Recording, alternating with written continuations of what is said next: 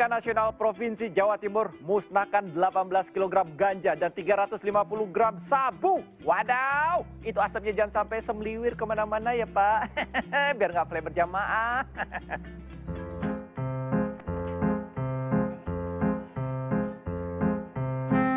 Ayo, ayo. Satu-satu ya, Buang.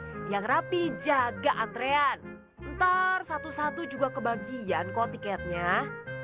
Tiket masuk penjara maksudnya.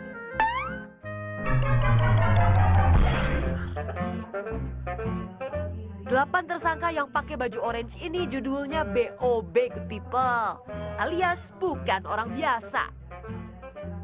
Badan Narkotika Nasional Provinsi Jawa Timur meringkus kedelapannya di lima tempat berbeda.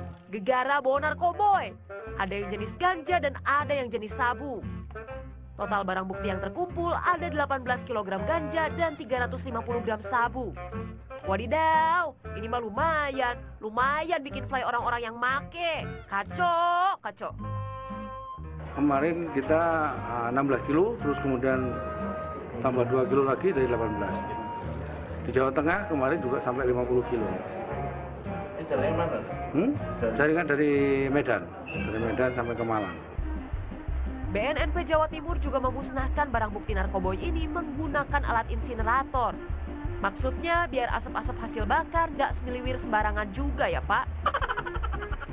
Lumayan, bisa fly berjamaah antar kalau dimusnahinnya terbuka. Sony Misdananto melaporkan untuk NET.